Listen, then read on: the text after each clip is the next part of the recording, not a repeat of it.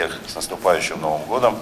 Еще раз примите самые теплые, добрые поздравления с наградами. В зале попечительского совета Казанского федерального университета состоялось заседание ученого совета. До начала заседания ректор университета Ленар Сафин вручил награды работникам Казанского федерального университета за многолетний плодотворный труд и вклад в развитие республики.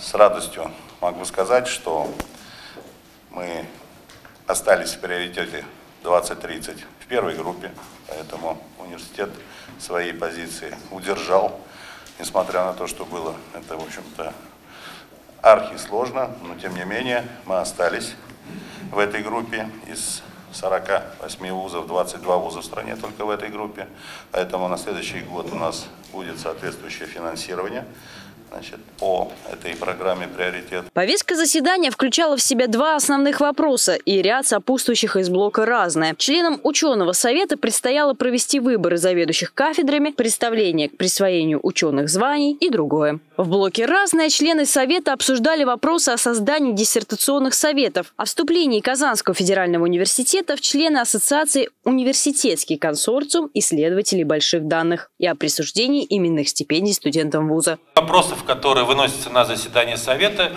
У нас планируется каждый месяц рассматривать э, вопросы, связанные с каким-либо структурным подразделением. Это может быть институт, это может быть управление, департамент.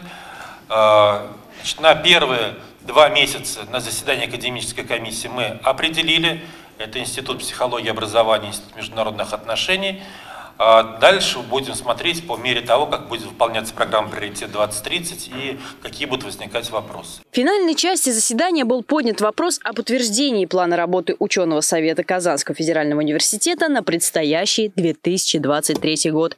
Алина Красильникова, Фарид Захитоглы, Александр Кузнецов, Univer News. Thank you